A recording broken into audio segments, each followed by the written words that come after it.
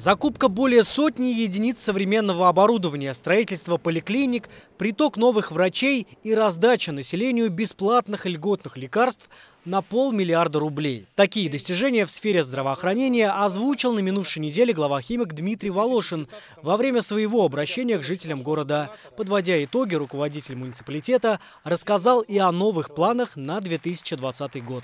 Здоровье – первое, что волнует каждого человека. В 2019 году мы открыли две поликлиники на Новокуркинском шоссе и на левом берегу. На подходе детская поликлиника на Сходне на 200 посещений и поликлиника на улице Родионова на 200 мест. Сегодня поликлиника на улице Родионова 1 на заключительной стадии строительства. Здесь будут наблюдаться мамы с детьми до одного года. Также в новом здании будет работать женская консультация. По словам главного врача Химкинской областной больницы, аналогов новой поликлиники в Подмосковье нет. Очень красивый проект.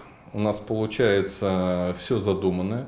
Это большие просторные помещения, удобные кабинеты, наличие всех узких специалистов для, как для женщин, так и для детей. Причем э, поликлиника детская э, будет находиться на первом этаже и полностью отделена от э, женской консультации и кабинетов осмотра женщин. На финальной стадии завершения и четырехэтажная детская поликлиника «Всходняя» на улице Мичурина. Рабочие завершают наладку инженерных систем, расставляют мебель и медицинское оборудование. В ближайшие дни здесь проведут генеральную уборку. Современная поликлиника включает в себя кабинеты физиотерапии и офтальмологии, лора, стоматологии и другие. Будут работать четыре терминала электронной записи, столовая, а также комната пребывания детей. Это будет первая самостоятельная поликлиника для детей, отвечающая всем новым требованиям. Э, хорошие условия, хорошее оборудование, современное здание, где удобно будет работать нашим сотрудникам, ну и удобно будет приходить мамам э, с детьми.